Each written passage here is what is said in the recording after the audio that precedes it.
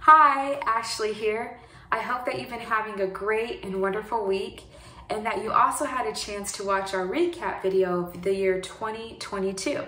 If you haven't, definitely take a look at that. I know it's going to inspire you, encourage you, and also show you the impact of your prayers that have been on us as we have been on this journey, serving the Lord through worship and prayer and ministering to the broken. I wanted to take some time to share with you some Rended Heart stats over the past year of the year 2022. It's been an awesome year. It's been full of crazy times, fun times, crying times, all the things. But most importantly, I'm just so blessed to be a part of Rended Heart and what I've been doing there, and that you have helped make it possible. For the year 2022, Rended Heart has answered a total of 568 crisis phone calls. This means these are women who are calling our hotline number. Our hotline number is found on t shirts that we have given women who we meet at the hospital. It is also found on our website. It is also found through networking, hospitals, uh, domestic violence shelters, uh, court systems, all these resources. So there's various ways that women have been able to call Rended Heart. And it's been amazing to know that we have been able to answer that many phone calls. We have housed 93 women in total in our Rended Heart housing. We have also provided bus and flight transportation for 14 women. This means that these women were accepted to programs out of the city of Kansas City. Maybe they went out of state, different locations, so we've been able to help them get to where they need to go. The total number of hours that volunteers have been able to serve at Rended Heart were 28,702 hours. The total amount of miles driven from all the volunteers who have served with Rended Heart have been 37,918 miles, 0.80 to be exact.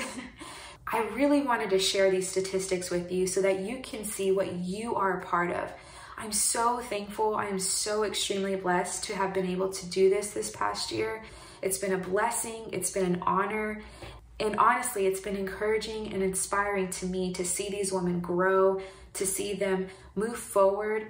Obviously, there are times where some women have went back to certain lifestyles and that was heartbreaking to see and witness. But overall, I am so blessed to be a part of this ministry and be the hands and feet of Jesus and open my heart to these women, even whenever it's not always accepted.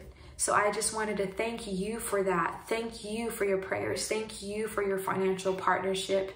Thank you for everything you have sown into our ministry and what we're doing in Kansas City.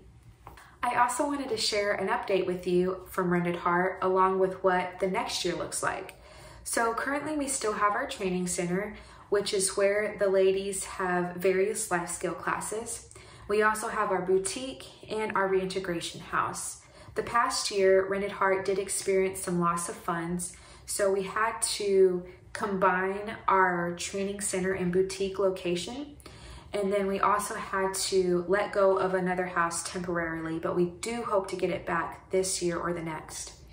The house that we do have still has five bedrooms and is still housing ladies currently right now, and we are full. We also have uh, connections to other programs that will house women immediately as we help those women in crisis transition to their next step. Even though Rended Heart has experienced some loss, the Lord has definitely been faithful. Right now, Rended Heart will be partnering with someone in the community who is going to provide office space for Rended Heart. It's actually going to be next door to the boutique on Main Street in Grandview. So that is super exciting and it's a beautiful space. It has office space, it has a little bit of kitchen space, it has all the things that Rended Heart has really been needing. So now we will have office space along with a separate boutique space, which we do plan on opening the boutique on March 11th. We already had a few people come in this week checking it out, seeing all the good things going on, and they seem to really love it. So when it opens, definitely feel free to check it out.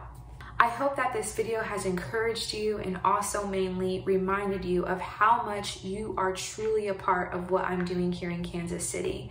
I thank you so much for your financial partnership again. I thank you for your prayers. I thank you for your encouragement as you have walked alongside of us. Truly, truly have walked alongside of us. And we just really, really appreciate you. Until next time, I'll see you soon. Have a good one. Bye.